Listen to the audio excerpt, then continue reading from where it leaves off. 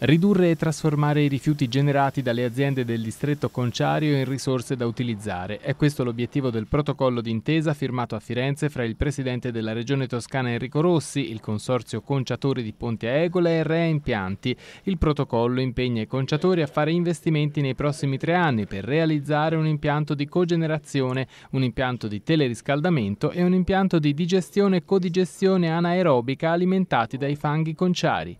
Un messaggio importante al comparto conciario della Toscana perché viene eh, messo nero su bianco ciò che faranno i conciatori per chiudere l'economia circolare.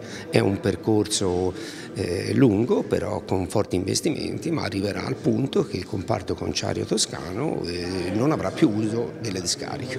Nel frattempo, mentre loro si impegnano in maniera precisa ad effettuare questi investimenti, la Regione Toscana ha favorito il raccordo con la discarica dello scapigliato per consentire che in questa fase intermedia loro abbiano certezza di dove smaltire, ma nel frattempo si lavori per ridurre il materiale da smaltire, per ridurre i rifiuti e promuovere invece l'economia circolare, cioè il riutilizzo di tutto quello che oggi è materiale di scarto e che invece può diventare materia seconda. Il consorzio conciatori di Ponte Egola riunisce 60 concerie specializzate. Nel distretto conciario di Santa Croce sono presenti circa 500 aziende con 6.000 addetti.